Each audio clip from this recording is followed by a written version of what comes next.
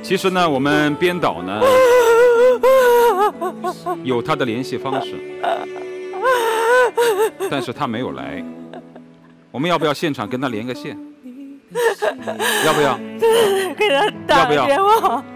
行，来，编导。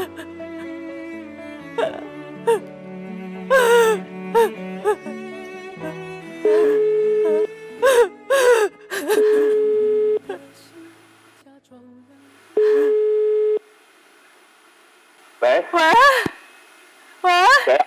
谁呀？哎，我呀，我的姐姐啊，我的 别激动啊！怎么了？姐姐，挂掉了啊！再拨一次，干嘛挂电话呀？呃，先别急，别急，再拨一次，再拨一次。你别做声，我来说。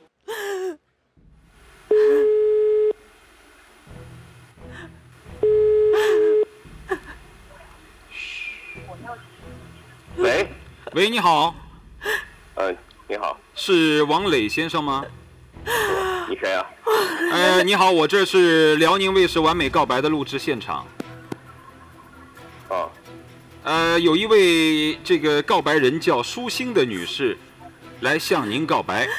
您认识舒心吗？我认识，那都是以前的事儿了。您所指的以前是四个月之前吗？啊，对，四个月之前你们相爱吗？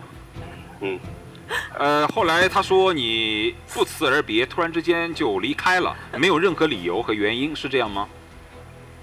没有啊，我，我，我，我妈生病，你妈妈生病但你妈妈生病不能成为你们之间分手的理由啊，是有什么别的原因吗？舒心今天来到我们的现场说，即便是要分手，她想分个明白。我觉得我们不合适，啊。您觉得你们性格之间不合适是吗？对，不合适。此外，这个舒心说你们之间还有经济往来是吗？没什么经济往来，就是都互相帮助我。就是您是不是有借过他的钱款？我拿过，大概多少钱？您心里有数吗？我也对他好，我给他买过呃衣服。那您的意思？是说，这个三万块钱和以前您借他的一些钱，呃，都是彼此对对方的付出是吗？